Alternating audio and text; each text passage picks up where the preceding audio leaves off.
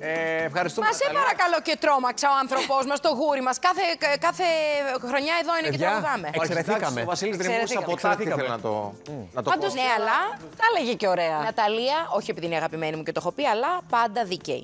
Α, να τα λέμε. Ω, Εξαιρεθήκαμε. είναι δικαίη. Εξαιρεθήκαμε, δεν Εγώ λες πάλι κρατάω καλά. το, το εξαιρεθήκαμε. Όντως. Αν και στο break αυτό λέγαμε, να πούμε να κάνουμε ένα χαμό. Αλλά τώρα που εξαιρετήκαμε δεν το κάνουμε. Αλλά τώρα επειδή είδαμε τον Γιώργο, είπαμε μαζέψου. Ε, Παιδιά, ήταν πολύ ενδιαφέρον το- παραστατικός. αυτό, το, το, το- τα παρασκήνια των πρωινών εκπομπών όπως τα παρουσίασε ο Γιώργος. Δηλαδή, το Να είχε σου πάρει πω και πάνω κάτι. του. Πάμε να γίνουμε χάλια. Αγγέλη, Ναι. να σου πω κάτι. Από την καθαρά δημοσιογραφική πλευρά θα το πω και Πάντα θέλω. συν του παρατηρητή.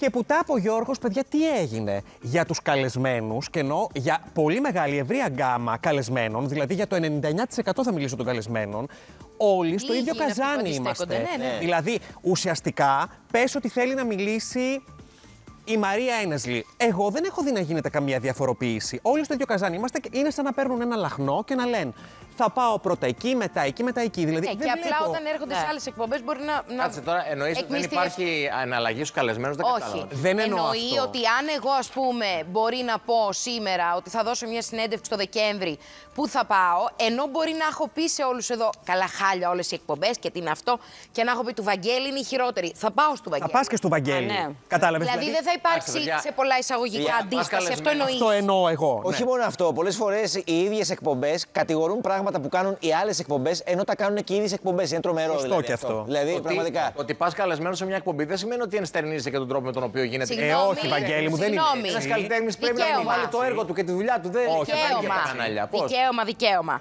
Επειδή έχουμε υπάρξει και καλλιτέχνες, ε, μπορείς να επιλέξεις σε ποια εκπομπή θα μιλήσεις.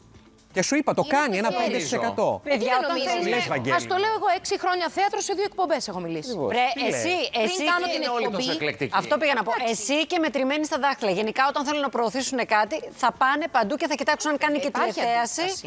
Ακόμα Υπάρχει από καλύτερα. κάποιους. Ναι, Από ένα ναι. μικρό Καμιά φορά όμως ποσοστό. δεν σου κάνει εντύπωση. Δηλαδή, άμα εγώ κάθομαι και λέω για τη Δανάη πω. Λέων δεν μου κάνει Και τίποτα κάνει αυτό και εντύπωση. κάνει εκείνο και την κατηγορώ και λέω άλλα. Γιώργο. Και μετά πηγαίνω την επόμενη μέρα. Δανάη μου μου, τι ωραία. κάνει- Χαίρομαι που βρίσκομαι εδώ στην εκπομπή σου. Είναι ωραίο. Δεν μου κάνει εντύπωση πλέον τίποτα. Καλά, ότι δεν μας κάνει Ε, τίποτα. Ότι δεν μας κάνει, Όλα δεν τι μας να κάνει, λέμε, γι' αυτό ρε και τα παιδιά, λέμε. τίποτα δεν Τέλος μας κάνει πάντων, εντύπωση. τα λέμε στο Ρόξ. Γιώργο. Εγώ είμαι με τσαλίκι πάντως αυτό το θέμα. Πάμε σε Θοδωρή Τσαλίκι Μαραντίνη, με πάντα. ο οποίος παραχωρεί.